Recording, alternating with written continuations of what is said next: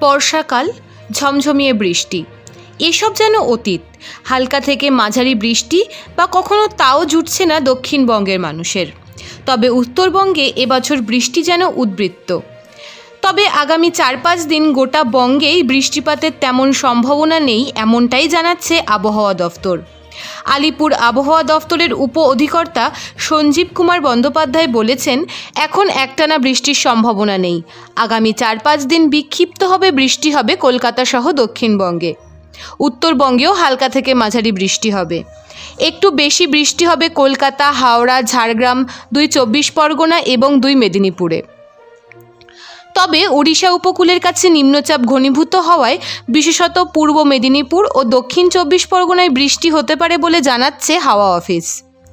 আজ কলকাতার সর্বোচ্চ ও সর্বনিম্ন তাপমাত্রা থাকবে যথাক্রমে বত্রিশ ডিগ্রি সেলসিয়াস ও সাতাশ ডিগ্রি সেলসিয়াস। বাতাসে জলীয় বাষ্পের পরিমাণ থাকবে প্রায় বিরানব্বই শতাংশ, যার জেরে অস্বস্তিকর গরম বজায় থাকবে।